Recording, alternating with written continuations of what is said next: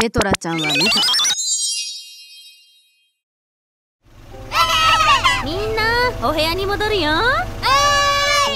俺は徳さ幼い頃通っていた幼稚園を横切るたびに思い出す出来事がある。これはもう何十年も前の俺が幼かった頃の話だ。はい！じゃあ今日はみんなで「雪やコンコ」を歌おうね。雪や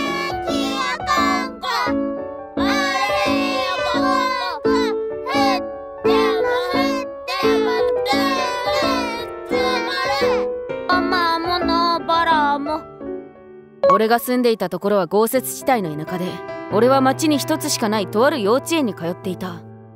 猫はこたつで丸くなる。そして俺が年長の時に担任をしてくれたのがこのゆり先生だった。当時俺の両親は不仲で夜はしょっちゅう二人の口喧嘩が絶えず俺はストレスを抱えていた。そんな時に優しくしてくれたのがこのゆり先生だった。そっか昨日もお父さんたち喧嘩しちゃったんだねでも大丈夫だよ。徳佐くんのご両親は2人とも徳佐くんのこと大好きだからね。もちろん先生も徳佐くんが大好きだよ。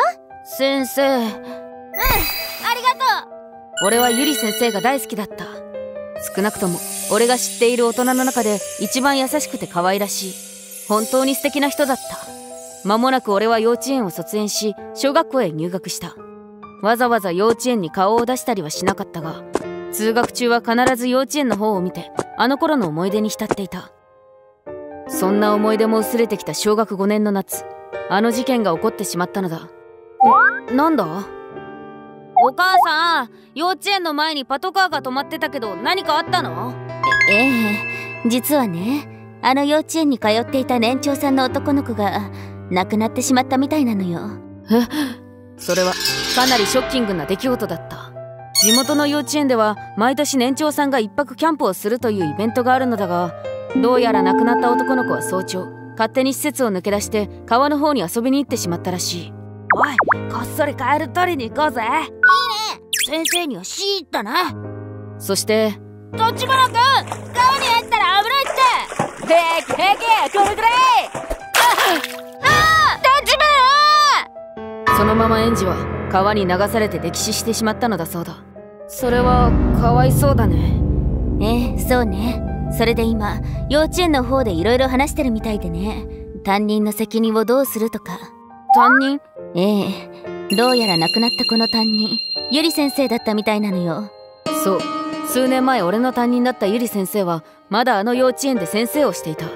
そして先生がまだ眠っている間にその子は川に流されてしまったのだ。このラクダだしあんたが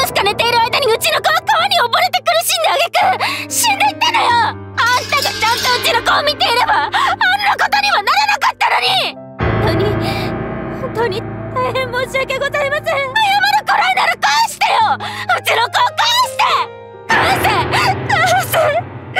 返せあかねもう休んだ。ごめんなさい。ごめんなさい。その後幼稚園は運営を続けゆり先生は責任を取って教員を辞めることになった亡くなった園児の親はここにいるのが辛いということでそのすぐ後に引っ越していったそうだ。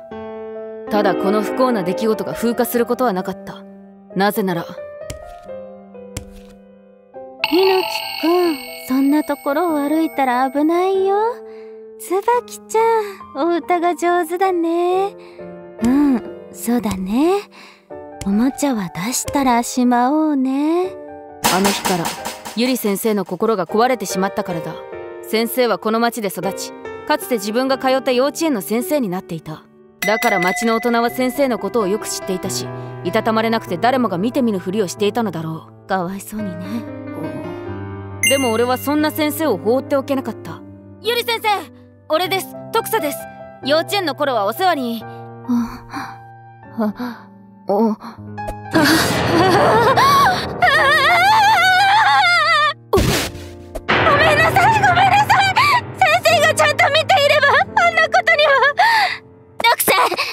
ん置いていくわよ。ででも先生がごめんなさいごめんなさい。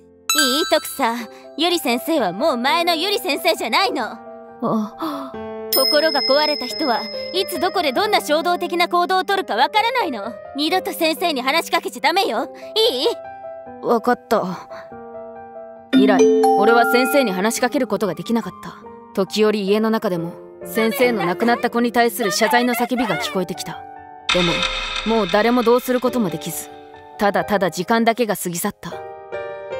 そして月日は流れ俺は6年生になっていた。今まで散々迷惑かけてきた妻に対して何か言うことはないの？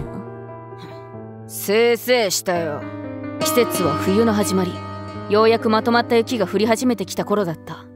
ずっと不仲だった両親がついに離婚し俺と母は来年の春にこの町を出ていくことになった雪やこんこあられやこんこ。降っても降ってもつんつん積もる。犬は喜びには駆け回り。どうして？誰も幸せになれないんだろう。どうしたらみんな幸せになれるんだろう。先生だってここまで壊れてしまうほどの責任を負う必要があったのか？先生が俺が母さんたちがどんな悪いことをしたって言うんだ？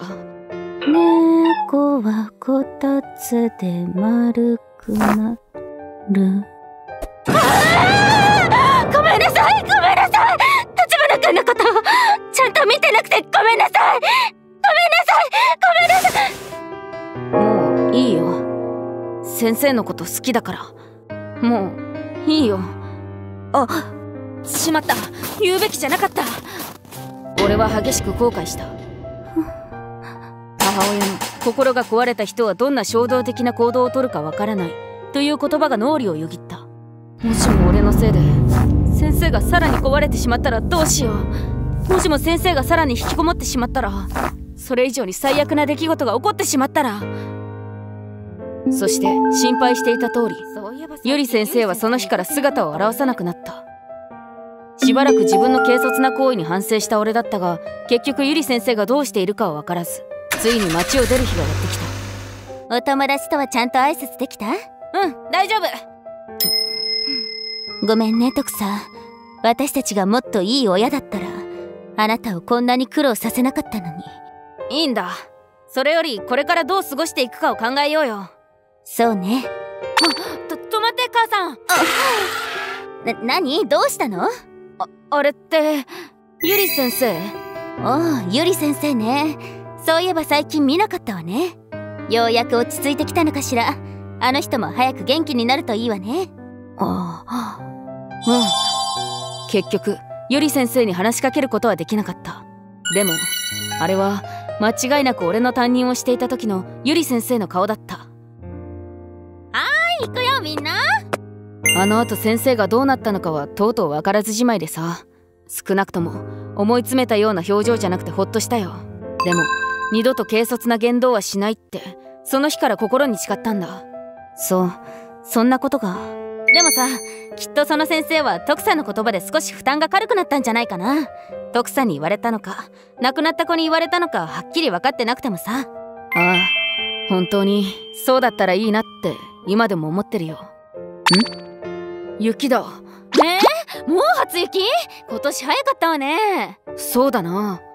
先生あなたはお元気にしてますか？雪が降ってきちゃいましたね。そうですね。寒くないですか？ええ大丈夫よ。ゆりさんのそのマフラー暖かそうね。ずいぶん気に入ってるみたいで。ええ教え子からもらった大切なマフラーなんです。あらそうなの。それは大事にしなきゃね。ええ。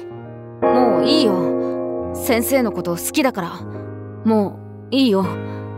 ありがとう徳佐くんさあ早くお部屋に入りましょうね。ご視聴いただきありがとうございました。もう仕事ができなくなってしまうほど心が壊れてしまうほどの言葉。そしてその壊れた心の負担から少しでも救い出せた言葉。いい意味でも悪い意味でも言霊の力はすごいことがわかりますね。何はともあれあんなことを言うんじゃなかったと後悔するような結末にならなくてよかったです。皆さんはどう感じましたか？コメント欄に書いていただけると嬉しいです。また少しでもいい方向に向かってよかったと思った方チャンネル登録と高評価をお願いいたします。